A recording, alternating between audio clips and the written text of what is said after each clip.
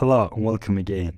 In this video, we are going to talk about the role of a project scheduler on a project and the necessary skills and experience required to be a successful project scheduler.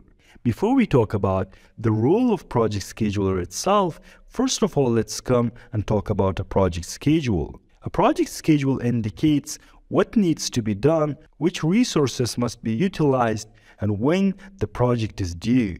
It's a timetable that outlines start and end dates and milestones that must be met for the project to be completed on time. There are different types of project schedules. The most famous ones are the master schedule, a milestone schedule, and a detailed schedule.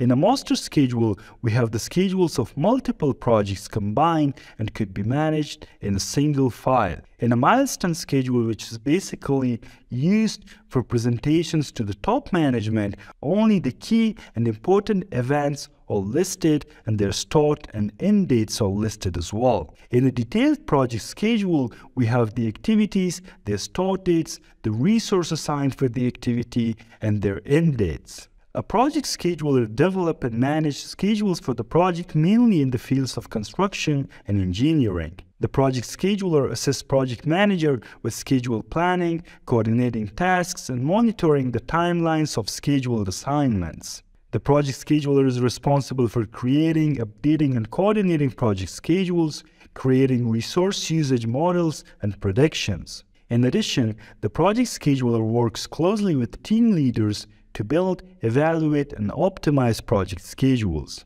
There is a difference between project scheduling and project planning.